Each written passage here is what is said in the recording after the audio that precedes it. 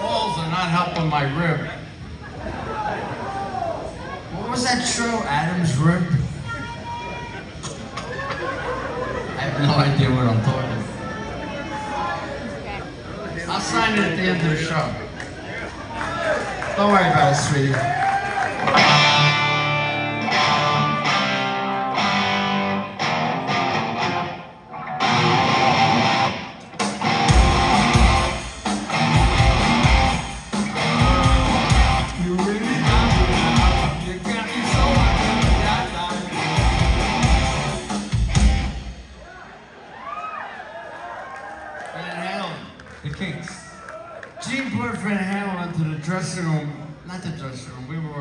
Studio Instrument, Instrument Rentals in New York.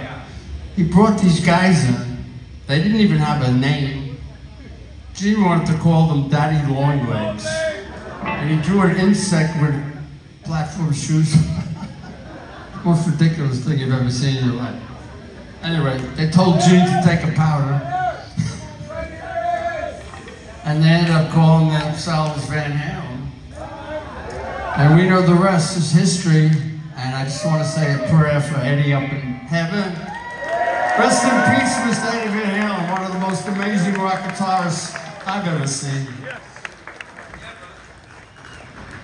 Uh, remember I was talking about riding on the subways? this is a song, I do the intro for that. So I was riding on the subways in the Bronx, headed down to Manhattan, and I got this idea for a riff in my head. When I got to the rehearsal studios, I played the riff, and Paul and Zoom said, man, that's a great song. What a riff, man.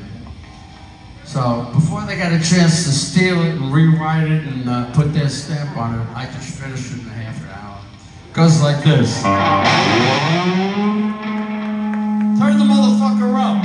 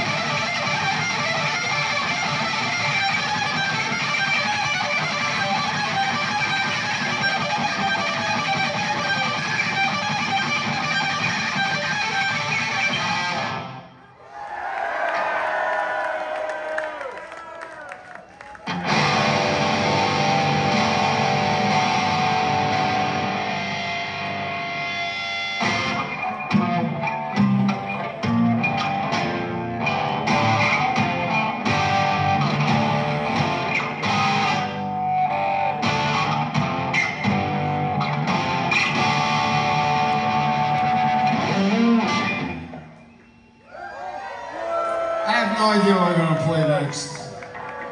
How about Rolling Stone?